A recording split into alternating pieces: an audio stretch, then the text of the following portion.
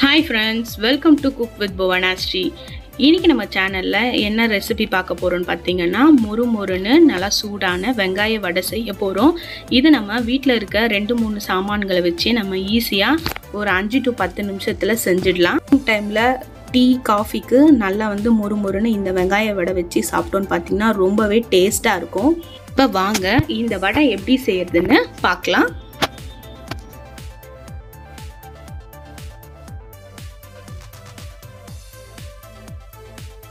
அதுக்கு முன்னாடி நம்மளோட சேனலை ஃபஸ்ட் டைம் பார்க்குறீங்கன்னா சப்ஸ்கிரைப் பண்ணிவிடுங்க பக்கத்தில் இருக்க பெல் பட்டனை கிளிக் பண்ணி செலக்ட் ஆல் கொடுங்க. அப்போ தான் நான் போகிற வீடியோஸ் உங்களுக்கு நோட்டிஃபிகேஷனில் இப்போ நம்ம வெங்காய வடை செய்யறதுக்கு பார்த்தீங்கன்னா பெரிய வெங்காயம் வந்து ஒரு மூணுலேருந்து நாலு பெரிய வெங்காயம் வந்து இந்த மாதிரி நீல வாக்கில் வந்து கட் பண்ணி வச்சுருக்கேன். இதை இப்போ நான் ஒரு பவுலில் ஆட் பண்ணிக்கிறேன். இப்போ இது கூடவே பார்த்தீங்கன்னா நம்ம வந்து ஒரு பச்சை மிளகாய் வந்து நான் பொடியாக கட் பண்ணி வச்சுருக்கேன். அதையும் இதில் சேர்த்துக்கிறேன். கொஞ்சமாக கருவேப்பிலை கொத்தமல்லி வந்து பொடியாக கட் பண்ணி வச்சுருக்கேன். அதையுமே இதில் ஆட் பண்ணிக்கிறேன். அதுக்கப்புறம் பார்த்தீங்கன்னா ரெட் சில்லி பவுடர் வந்து ஒரு கால் ஸ்பூன் அளவுக்கு ஆட் பண்ணியிருக்கேன். இது கூடவே நம்மளுக்கு தேவையான அளவுக்கு உப்பு கால் ஸ்பூன் அளவுக்கு. ஃபஸ்ட்டு நம்ம உப்பெல்லாம் உப்பு காரம் சேர்த்து நல்லா வந்து பிசைஞ்சு வச்சிடணும். இது வந்து ஒரு அஞ்சு நிமிஷம் ஊறட்டும். வெங்காயம் வந்து தண்ணி விடும்ன்றதுனால நம்ம உப்பு போட்டு ஒரு அஞ்சு நிமிஷத்துக்கு முன்னாடி இந்த மாதிரி ஊற வச்சு வச்சிடலாம் இப்போ வந்து இதை நல்லா பிசைஞ்சு எடுத்துக்கிறேன். நம்ம போட்டிருக்க மசாலா அண்ட் உப்பு எல்லாமே வந்து எல்லா பக்கமும் சமமாக இருக்கிற மாதிரி கலந்து விட்டுக்கோங்க. இப்போ வந்து இது ஒரு அஞ்சு நிமிஷம் அப்படியே ஊறட்டும். ஏன்னா தண்ணி விட ஆரம்பிக்கும். நம்ம கை வைக்கும் போதே நம்மளுக்கு தெரியும். அதே சமயம் ரொம்ப நேரமும் ஊறக்கூடாது. இப்போ நம்ம வந்து மாவுலாம் சேர்த்துக்கலாம். நான் வந்து இப்போது ரெண்டு ஸ்பூன் அளவுக்கு மைதா மாவு ஆட் பண்ணியிருக்கேன்.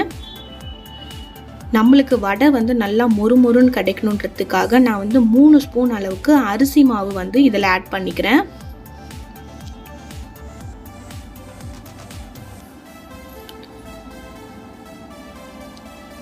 இது கூடவே வந்து ஒரு ரெண்டு ஸ்பூன் அடு அளவுக்கு கடலை மாவும் ஆட் பண்ணிக்கலாம். அதுக்கு முன்னாடி ஒரு கால் ஸ்பூன் அளவுக்கு இஞ்சி பூண்டு பேஸ்ட் ஆட் பண்ணிக்கிறேன். இந்த ஸ்டேஜில் நம்ம ரெண்டு ஸ்பூன் அளவுக்கு கடலை மாவு ஆட் பண்ணிக்கலாம். இது கூடவே கொஞ்சமாக பெருங்காயம் ஆட் பண்ணிக்கோங்க. கால் ஸ்பூன் அளவுக்கு. இப்போ இது எல்லாத்தையும் வந்து நல்லா பிசைஞ்சிக்கலாம். மெயினாக வந்து நம்ம இதில் தண்ணி சேர்க்கவே கூடாது. வெங்காயத்திலே தண்ணி விட்டுருக்கோம். அந்த ஈரத்துலேயே நம்ம இதை பிசைஞ்சோன்னா நம்மளுக்கே பெசைய பெசைய தெரியும். அப்போ உங்களுக்கு எப்படி ஈரப்பதம் இருக்குதான்னு பார்த்துட்டு அப்போ நீங்கள் வந்து ஒரு ஸ்பூன் அளவுக்கு அரிசி மாவும் இன்னொரு ஸ்பூன் அளவுக்கு மைதா மாவும் ஆட் பண்ணிக்கலாம். இப்போ வந்து எனக்கு வந்து இந்த பதம் கரெக்டாக இருக்குது அதனால் நான் மாவு ஆட் பண்ணலை. இப்போ பார்த்தீங்கன்னா எடுத்து பிசையும் போது உங்களுக்கு தெரியுது. இப்போ நான் ஒரு பேனில் வந்து கொஞ்சமாக எண்ணெய் காய வச்சுருக்கேன். எண்ணெய் காஞ்சதுமே நம்ம நம்மளுக்கு என்ன சைஸு தேவையோ அந்த அளவுக்கு சின்ன உருண்டையாக எடுத்துக்கலாம். இதை வந்து நான் வந்து ரவுண்டாகவும் போடல ரொம்ப தட்டையாகவும் போடல சும்மா லைட்டாக வந்து இதை மாதிரி போடுறேன். இதே மாதிரி எல்லாத்தையுமே நம்ம போட்டு எடுத்துக்கலாம். இப்போ நம்ம இந்த வடை எல்லாத்தையுமே போட்டுட்டு நம்ம உடனே கலர வேண்டாம். ஒரு ரெண்டு மூணு நிமிஷம் வந்து மிதமான தீயில வந்து இது வேகட்டும். இப்போ வந்து நல்லா வெந்திருக்கு. ஒரு சைடு நம்ம வந்து இப்போ இதை மெ மெதுவாக வந்து இன்னொரு பக்கம் திருப்பி விட்டுக்கலாம்.